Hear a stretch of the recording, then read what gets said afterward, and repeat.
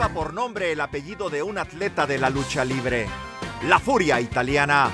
Y aunque tiene más de 80 años de vida, muy pocos pronuncian correctamente su nombre.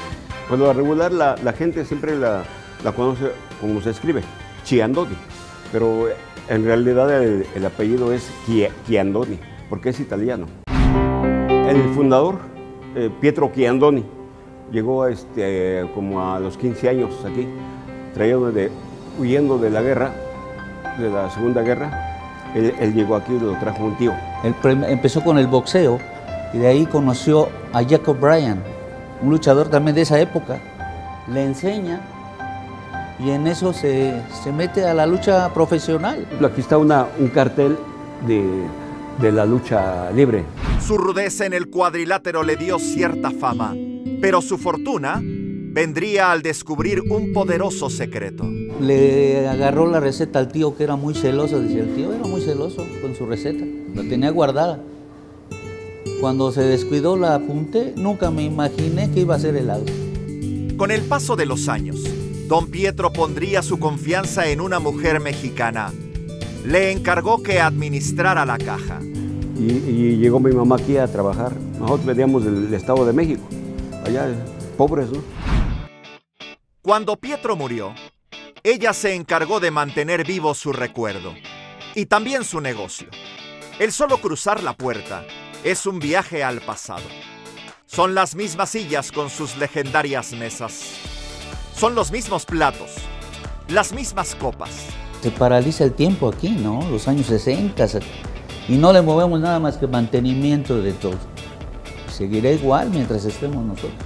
Todavía hay gente ya más de 80 años vienen. Sí, sí, vienen los hijos, los nietos y así se sigue. Las, las generaciones han venido. Y, es, y eso es muy bueno, muy padre. El legado de Pietro está vivo en el helado de vainilla, ese que recibe chocolate derretido y una pizca de nueces, coronado con crema batida. Es el más clásico, el de aquí, el hot fudge. Sí, sí, sí. Y la receta del, chocolate es súper tradicional, súper artesanal.